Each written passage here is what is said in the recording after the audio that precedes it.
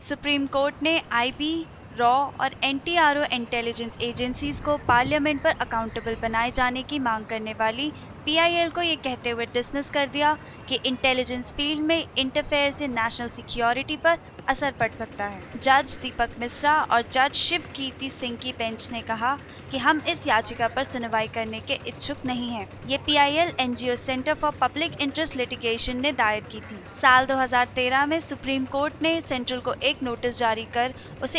एजेंसियों को पार्लियामेंट और सीएजी की निगरानी में लाने का आग्रह करने वाली पिटिशन पर रिएक्शन मांगी थी। एनजीओ की पिटिशन में कोर्ट से रॉ, आईबी और एनटीआरओ को फॉरेन कंट्रीज़ की तरह ही पार्लियामेंट सर्विलांस में लाने और सीएजी से उनका फाइनेंशियल ऑडिट कराने का ऑर्डर देने की मांग की गई थी।